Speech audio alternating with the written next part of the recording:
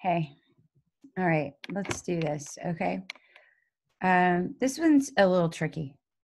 It's a little tricky for beginning for beginners. All right, so we're going to look at how the pH of a solution affects the solubility of a salt in that solution. So, how is solubility affected by pH? All right, so we're going to have to talk about some things that apparently they're expecting you to know before we get started. We have some salts. Oops, I got to share my screen too, don't I? Um, all right. Um, I'm having a really hard time figuring out the best way to approach this, guys. So hang in there with me, okay? Um, some salts have acidic properties.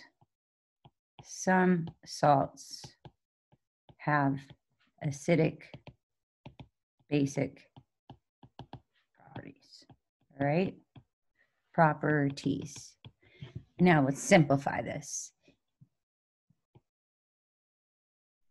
If it contains the we the conjugate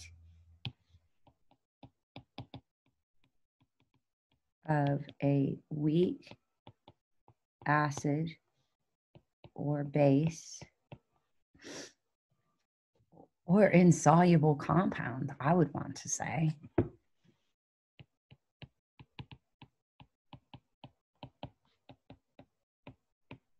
That would be maybe like a, a common ion, not a conjugate.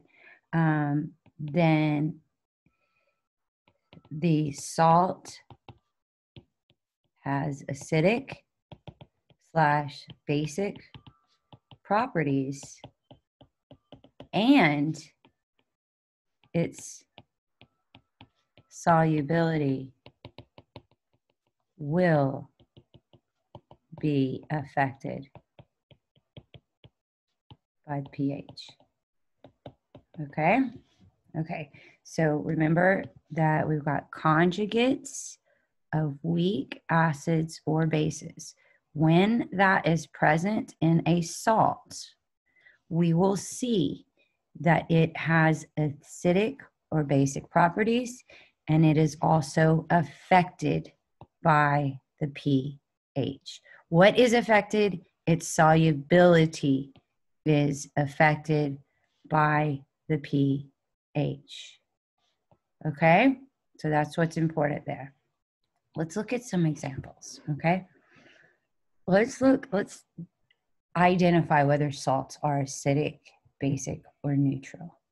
So um, the first one I'm going to give you is NaF, all right? Well, I want you to visualize, in, in, envision, visualize this guy dissociating into his ions, all right? All right. Now I want you to put water down here as in terms of H and OH. Now, let me go over here. Let me relate, go to acids and bases real quick. Okay. Acids, um, low pH, right? Below seven at, at normal temperature. Um, excess hydrogen ions, right? The lower the pH, the more the hydrogen bases, pH above seven, more OHs than H's, right? And over here you have less OHs, all right?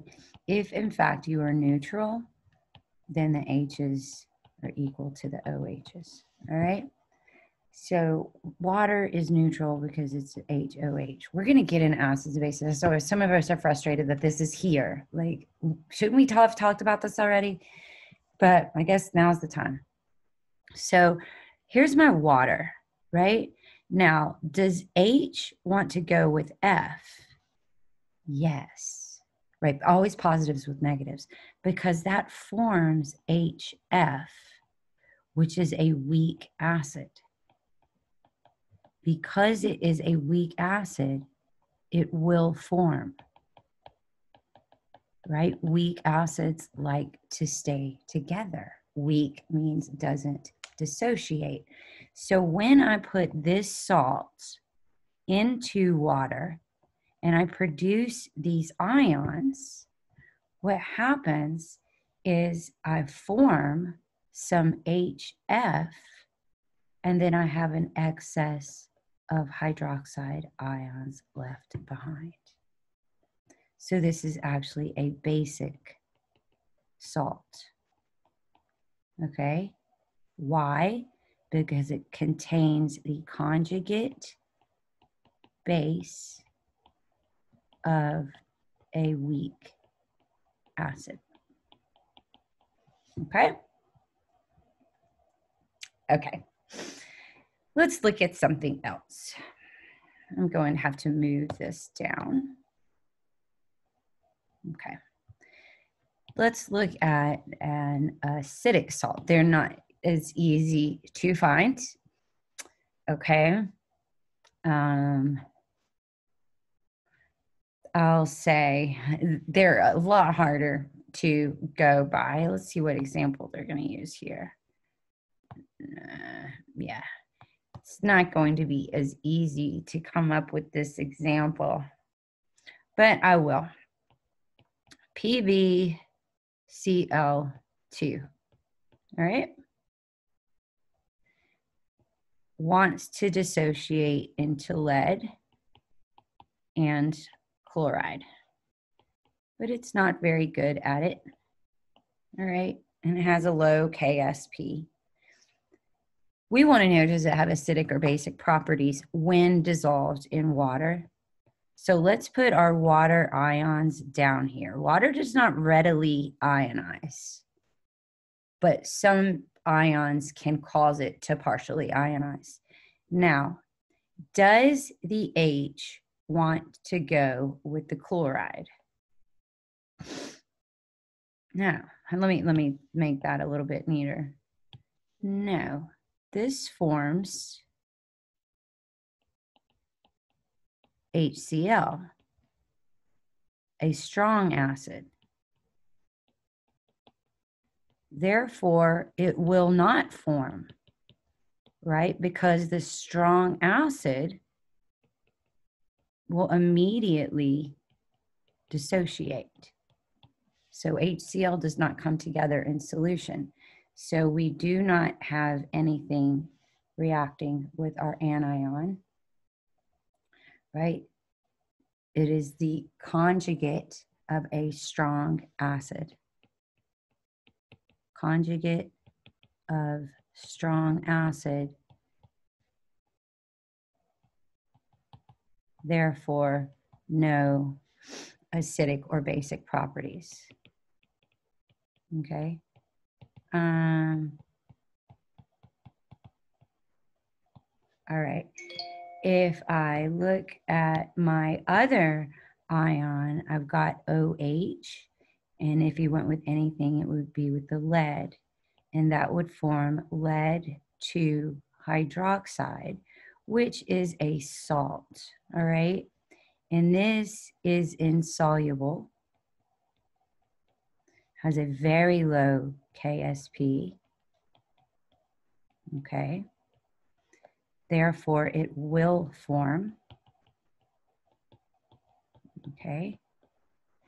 And what we will see in this reaction when we dissolve this salt in water, I'm trying to figure out what color I want, is we will form PB, oops, OH2 solid, and that hydroxide, I mean hydrogen ion, will be left behind.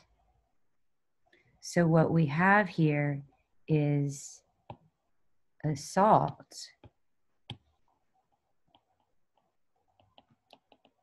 that has acidic properties, right? Because of the hydrogen ions that it has caused to be in excess, right? And that's an acid. Over here, we had the hydroxide ions that were in excess, and that's a base. So that was a basic salt. And down here we have what's called an um, acidic salt, okay? Um, and what it, it, it contains, now this isn't an acid base because this is not an acid or a base, right? And it does not contain the conjugate of a weak um, base. But if it did, it would have the same properties. What it contains is a cation of an insoluble salt. Actually, hydroxide, right? That's what it has. Okay. Um, now, if I had some sodium nitrate, okay, and I dissolved it in water, first of all, it's perfectly soluble. It is not insoluble. It is not an equilibrium process. And I dissolved it in water. Therefore, there was a little fight or, or something going on to see if anything else would want to happen. And what we would compare would be the H with the NO3. And you need to realize HNO3 is a strong acid, therefore will not form in solution, right? It will remain ionized. Okay. And then our other option of anything happening would be here. And NaOH is a strong base. Therefore, uh, will not form in solution. Same as over there, okay? It will remain ionized it will remain ionized, okay? Um, all right, let's finish this up. Um, so we just have ions floating around the solution. So the lesson there is when your salt contains the conjugate of a strong acid, conjugate of strong, right? It's only when you have a conjugate of those weeks. It does not have acidic or basic properties. Um, actually, that would be, if anything, it would be a basic, does not have basic properties. And we have an alkali metal over here, right? Which is the conjugate, no, uh, it is the cation. Hmm. It contains an alkali metal, the cation of a soluble compound. I'm going to leave it at that. I don't know. Okay. Now, for example, if my salt had NH4 chloride, right? NH4 plus plus Cl negative, right? Um, that is not going to form, and that is not going to form. However, NH4 plus himself will dissociate. But we'll get into that more when we talk about acids and bases, all right? And actually, that's our next unit.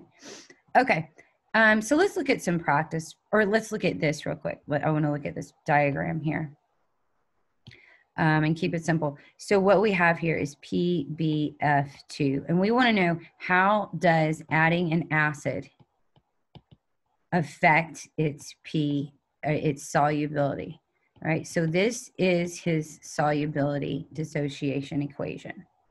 If I add an acid to this, right? By adding an acid, I'm adding hydrogen ions. What I see is the addition of the hydrogen ions will remove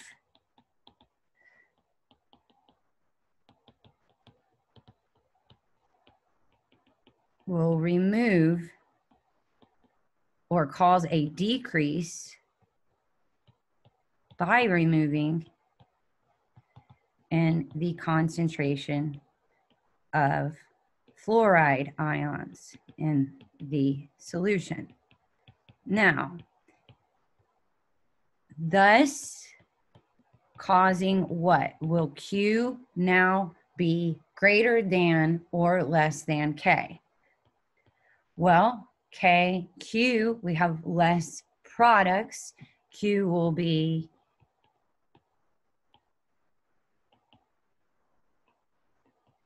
and solubility. In fact, just want to make sure solubility increases. Why? Why? Because, oops, because reaction will shift towards product side where there are more ions to replace ions in order to reestablish equilibrium. I hope you understand. I know I get messy, but just get thinking. You can write messy too. All right? Okay.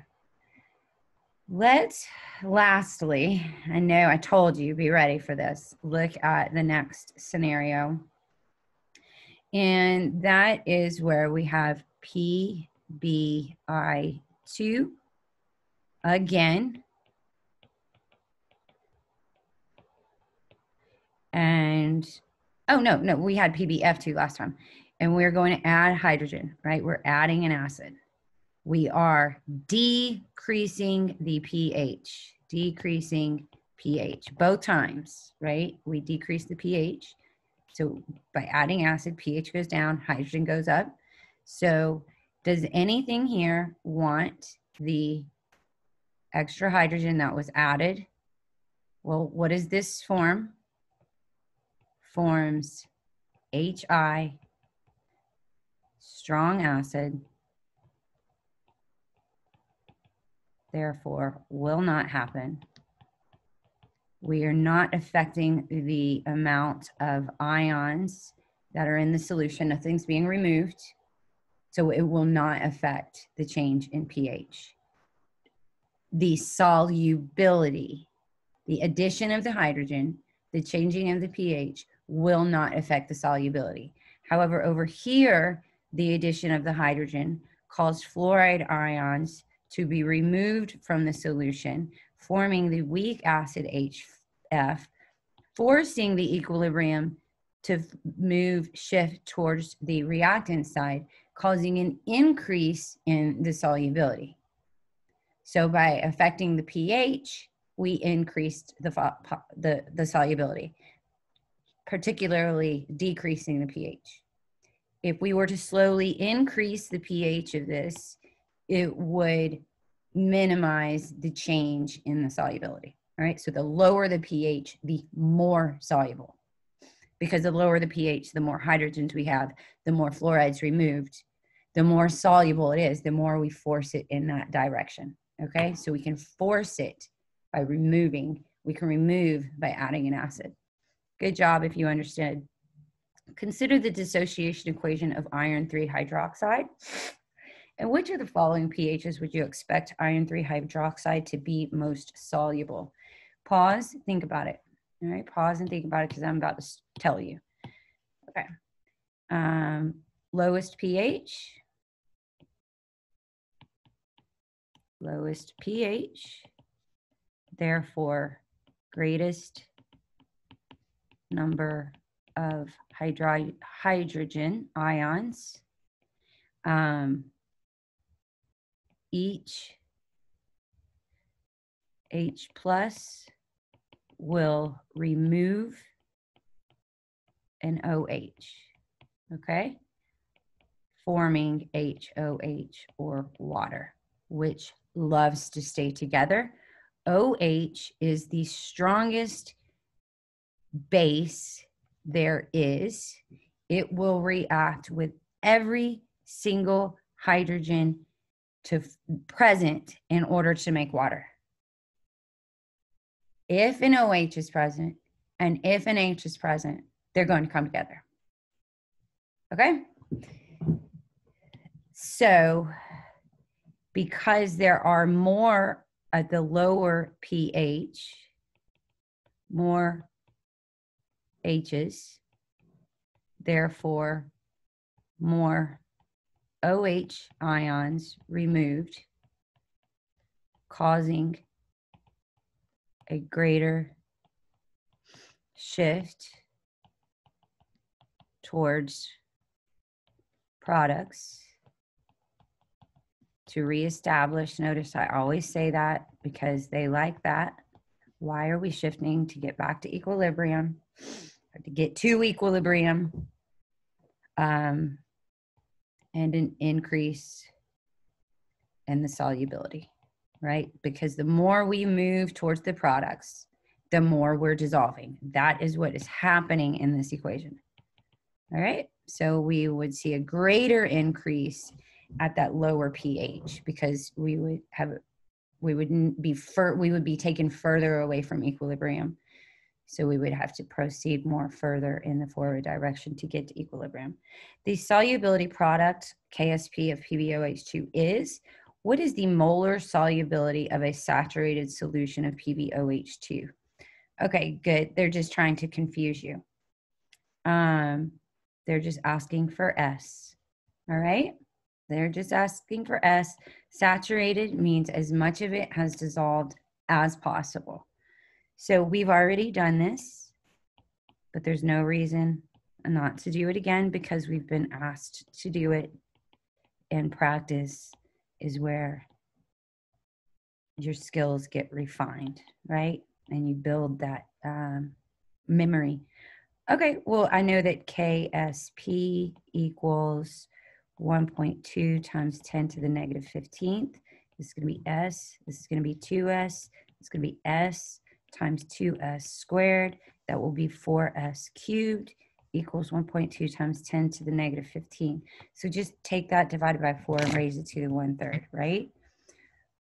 Did I do that? Yeah, I already got that right here. Um, no, I don't uh, 1.2 second E negative 15 divided by 4 equals raised, oops, raised to the parentheses 1 divided by 3 close parentheses. You're looking at 6.9 times 10 to the negative sixth. That's M in pure water. Okay. Letter B. What is the molar solubility of lead to hydroxide? in a solution with a pH of, and then it's left to tell us what hydroxide will be. So, because once again, you would need to know that in order to solve this problem, but you haven't learned that yet in this course. And we're following the the course. So it's frustrating that this should probably should have been saved for later. Anywho, remember this is our solid. We don't need to know how much we have, but I see that because my pH is 11, therefore it's not neutral, which we always would assume they were unless told otherwise, has a hydroxide ion concentration of 1.00 times 10 to the negative third. So I initially already have a hydroxide ion concentration. Simply means I have a common ion, right? So what's that going to do to my solubility? Should it get greater than, less than, or equal to? All right, well, C plus S plus 2S, E, S, 1.00 times 10 to the negative third plus 2s. All right, we will assume this 2s addition um, term to be negligible, um, right? Because uh, our KSP is to the negative 15. Remember, we said that if it's negative 5 or below, we can assume it to be negligible. Um, we'll talk about that more we get to weak acids and bases. Um, so I have KSP, which is what 1.2 times 10 to the negative 15th equals S, 1.00 times 10 to the negative 3. All right. Solve for S, and we've got 1.2 times 10 to the negative 9. Is that right? Oh, oh, that's got to be squared. Squared. Squared. I knew those answers didn't, right? So, okay. So let's look at the, the solubility. It is now a negative 9. We had a common ion. It is much less than it was without the presence of the common ion. So not quite acid base, but still good practice. Letter C, explain the change in molar solubility exhibited in A and B. Well, we just did. Um, in B, there's a common ion. Um, causes Q to be much greater than K. This reaction needs to decrease the amount of ions in order to get to equilibrium. We will see a shift towards the products and a decrease in the solubility. Um, seriously, page 20 of your notes is, is a very good um, review of this, okay? See ya.